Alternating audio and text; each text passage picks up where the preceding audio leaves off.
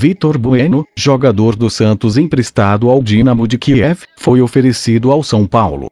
O tricolor recebeu a sugestão do nome por meio de um empresário e aprovou. Seria uma operação de reempréstimo. O Peixe, por outro lado, só aceita reemprestar Vitor Bueno ao rival se o Dinamo de Kiev fixar um preço pelos direitos econômicos de Derlis Gonzalez. Explica-se. Vitor Bueno e Derlis Gonzalez foram trocados por empréstimo entre Santos e Dinamo de Kiev até o meio de 2020. Mas o atacante paraguaio não tem um valor fixado em contrato pela compra dos seus direitos econômicos.